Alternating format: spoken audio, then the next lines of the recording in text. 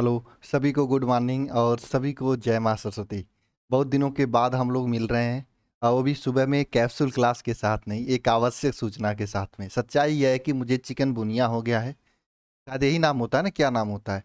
और डॉक्टर ने मुझे बताया, जोड़ों में दर्द, बुखार, ये सब चीज़ें खूब परेशान कर रही थी। तीन चार दिन से क्लास भी नहीं हो पाया, आपका 750 क्वेश्चन और जो भी चल रहा था वो भी नहीं हो पाया।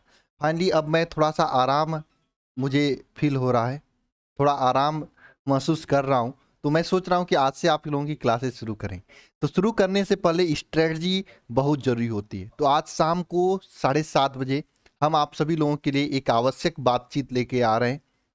उसमें हम लोग स्ट्रेटजी तय करेंगे कि आगे क्वेश्चंस को कैसे करना है और किस तरीके से आपको याद कराना है और आपको कैसे याद कर रखना है।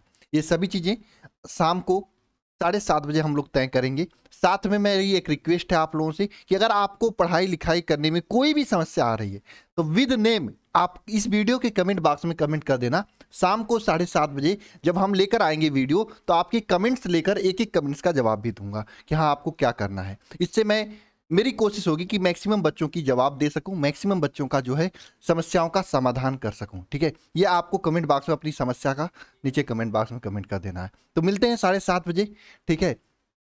दिन में थोड़ा सा दवा ववा सही समय से खाऊँगा तो और थोड़ा सा इम्प्रूव हो जाएगा तो साढ़े सात बजे और अच्छी से आवाज़ निकलेगी और अच्छे से हम लोग आगे की रणनीति को तय करेंगे, आगे की मेहनत को तय करेंगे। मैं आप सभी लोगों से भी एक बात बोलना चाहूँगा, स्वस्थ रहिए, अपने आप को संभाल के रखिए और मेहनत से पढ़ाई करते रहिए। सभी को जय माता सरस्वती।